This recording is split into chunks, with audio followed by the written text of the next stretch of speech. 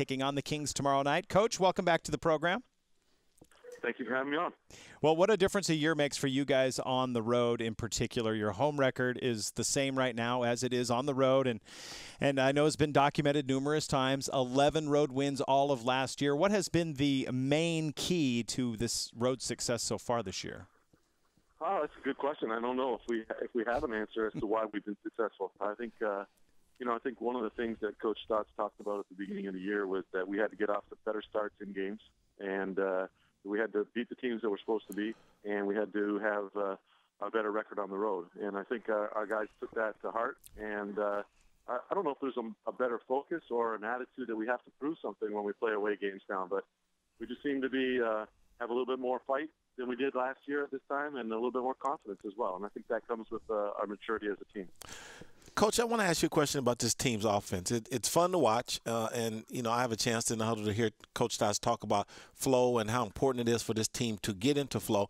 But it's been interesting to me to observe, and I've seen to observe it more when you guys are on the road, that no team has been able to interrupt this team's offensive flow. Even on nights that, that the Blazers miss shots, they don't have a problem getting the type of shots. You guys don't have a problem getting the type of shots you want. What has been the key to being able to have such an offensive flow and rhythm thus far in the season? Well, I think number one, I think uh, you have to credit the offense. I think uh, you know Coach Stotts lets these guys play. It's not like he is uh, demanding as far as calling plays.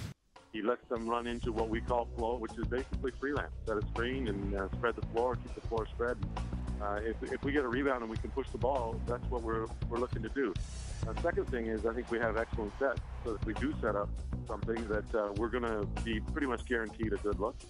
And I think the most important thing of all three things, uh, and the third thing I'll mention, is that uh, we have a lot of players that know each other better after going through what we went through last year, and they're playing extremely unselfish basketball. They're not afraid to make the extra pass. Uh, we're one of the best passing teams in the NBA uh, as far as assists per field goal, and I think that that comes from uh, our guys willing to give up a shot to give one of their teammates a better shot. Coach, as a follow up to that question, and, and thanks for breaking that down for, for me and our viewers, uh, is teams that have the type of offensive success that this Trailblazer team is having generally get offense off their defense. This team is able to get offense just off of its flow and its commitment to offense. So on the defensive end, what how would you identify this team's personality and focus on that end of the floor?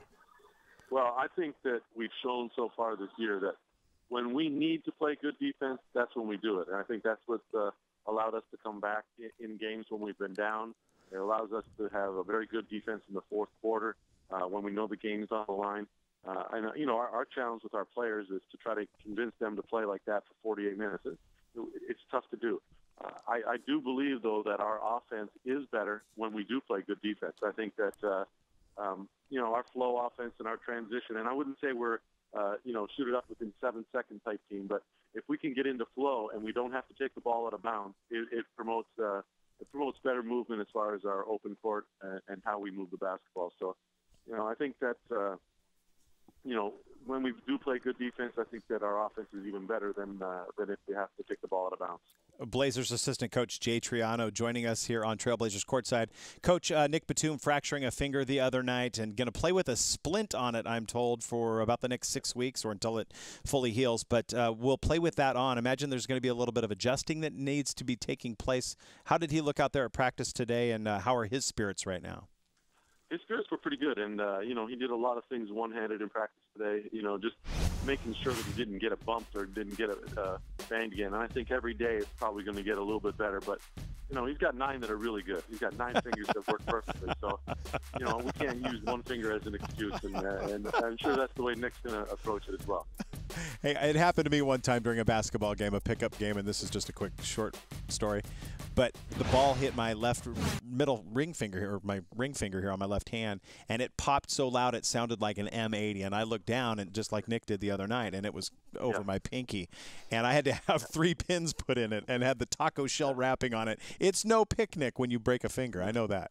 No, it's not, and and, uh, and I joke about the other nine being good. Yeah, right. you know, I think uh, you know the fact that it is the same finger on Nick and it's on his left hand, and uh, you know, he makes most of his plays with his right hand, and uh, you know, I, I'm sure other teams are going to work on that too. They're going to make him go to his left, like Philadelphia did the other night, And um, but Nick's been, you know, he struggled scoring the other night, but he still finds a way to get, you know, 10 rebounds. He still finds a way to get 10 assists when he struggles. So he's been very helpful to us. Hey. And, uh, you know, hopefully he's good tomorrow. A lot of guys deserving certainly to be on that All Star team in just over five weeks from now. Certainly, LA is one of those guys.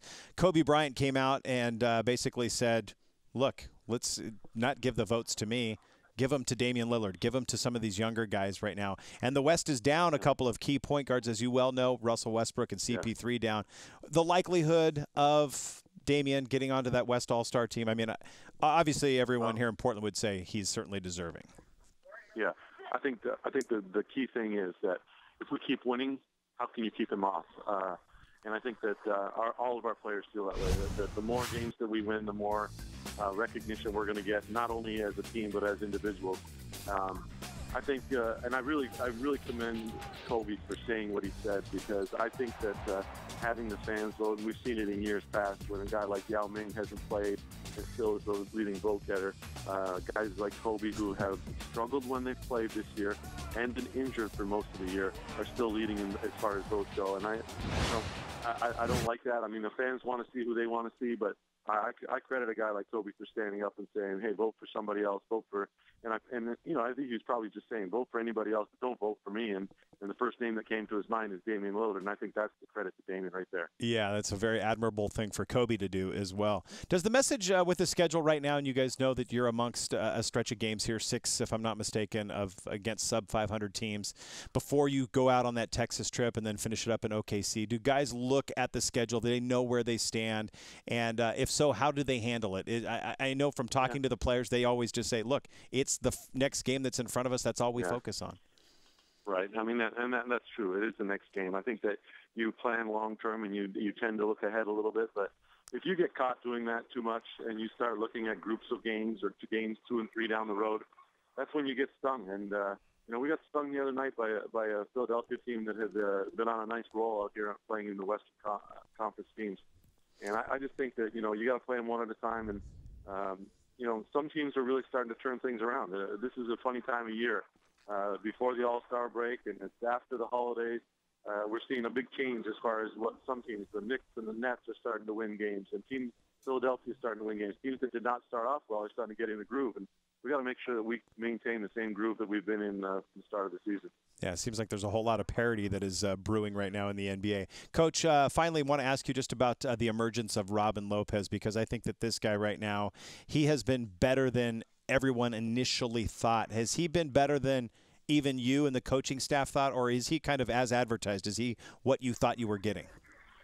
Well, I wasn't really sure. I mean, I think as a player, you play against him and you don't you don't know what he's like. But I think that his personality and his fiery fiery uh, competitiveness are, are things that I didn't expect. And uh, you know, he's uh, he's he's got great basketball intelligence. He's obviously been brought up playing the game and understanding the game.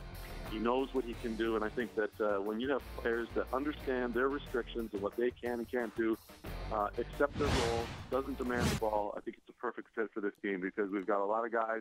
Uh, the other four guys that he starts with can all find ways to score, and uh, he does a lot of the dirty work, the setting of the screens, the keeping balls alive on the offensive glass, and being the, the key defender that protects the rim for us. So uh, his his role is very very valuable to us, and he has been better than than I thought he would be. All right, there you go. Assistant coach Jay Triano joining us from Sacramento. Coach, thanks for the time. Go get us a win tomorrow, and we'll uh, see you guys back here on uh, Wednesday when you take on Orlando. Sounds good. I appreciate it, guys. Thank you. Thank you. All right. Assistant coach Jay Triano joining us here on Trailblazers.